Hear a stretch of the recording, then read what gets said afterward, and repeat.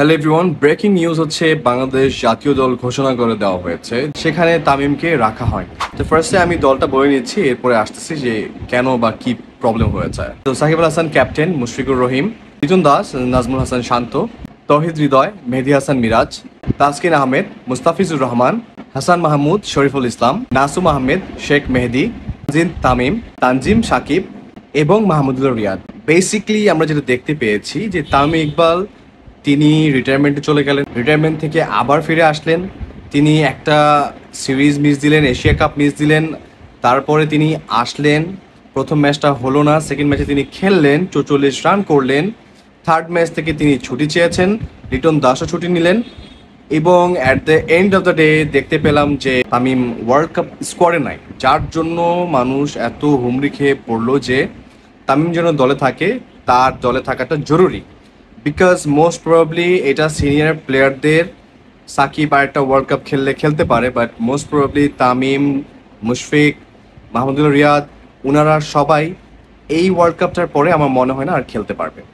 Because age একটা অনেক বড় ফ্যাক্ট ফিটনেস অনেক বড় একটা ফ্যাক্ট যাই হোক, তামিম অনেক চেষ্টা হয়তো করেছে, তিনি প্রপার ফিট হতে পারেনি, এবং তিনি হয়তো বা অনেক জায়গায় অনেক কিছু আমি দেখতে পেয়েছি অনেক সোশ্যাল প্ল্যাটফর্মে যে উনি পাঁচ ম্যাচ খেলবে সাকিব বলেছে নাকি উনি পাঁচ ম্যাচ খেললে সাকিব নাকি ওয়ার্ল্ড কাপে খেলবে না? আমি জানি না কোনটা সত্য, কোন- কোনটা মিথ্যা। তবে টু বি অনেস্ট আমরা সবাই চেয়েছিলাম হচ্ছে একটা ভালো পারফরমেন্স আমরা বাস্তবতা জানি যে আমরা কোথায় দাঁড়িয়ে আছি। কিন্তু আমরা কিন্তু এটাও জানি যে আমরা ওয়ার্ল্ড কাপের কত দূর পর্যন্ত যেতে যাব। দেখুন, যখন মাঠে নামে, কেউই চায় না যে আমরা হেরে যাই। সবাই চায় যেন আমরা জিতি। যেই টিমটা এখন করা হয়েছে টু বি অনেস্ট আমি অনেক বেশি হোপফুল না but as a Bangladeshi supporter আমি এটা চাইতেই পারি যে তারা ভালো কিছু করবে সারপ্রাইজ করবে আনপ্রেডিক্টেবল কিছু রেজাল্ট দিবে।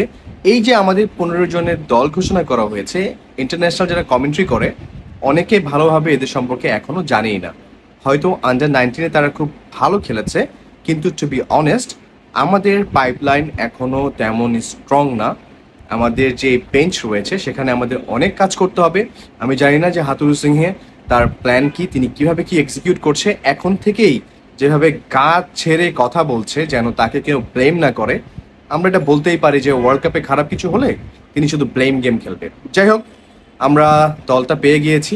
হয়তো বা এখানে কিছু চেঞ্জেস আসতে পারে, নাও আসতে পারে বিকজ ডিমান্ড অনুযায়ী অনেক সময় অনেক প্লেয়ারকে বাদ দিয়ে দিতে হয়।